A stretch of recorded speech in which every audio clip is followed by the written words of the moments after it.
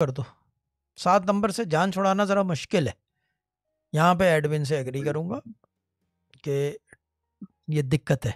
सात नंबर से जान छुड़ाना मुश्किल है। सात पाँच नाम अगर गले पड़ गया मैं एक बात बता दूँ इल्मी बात बता दूँ सात पाँच अगर गले पड़ गया ना आपके भले वो घर की सूरत में हो गाड़ी की सूरत में जान छुड़ाना मुश्किल ही नहीं नामुमकिन हो जाता है।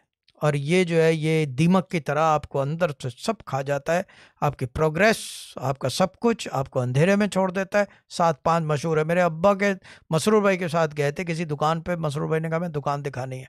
अब्बा ने कदम अंदर रखा और पीछे ऐसे झटके के पीछे कह रहे हैं यहाँ पे बसेरा है। नंबर क्या है इसका? कह रहा है सात नंबर। कह रहे हैं मुझे नहीं लाना दोबारा। इसको ठिकाने लगाओ। कह रहे हैं मैंने खरीदी नहीं देख कह रहा है, अब्बा कहा जान छुड़ाओ इससे। सात पाँच simply no. Because you end up in problems और बहुत बड़े बड़े मसाइल हो जाते हैं। आदमी के यानी कि वो जो कहते हैं ना कि उतनी देता है जितनी बर्दाश्त हो बर्दाश्त से बाहर के प्रॉब्लम्स हो जाते हैं सात पाँच के घर में। खैर। आपका तो निकल जाएगा।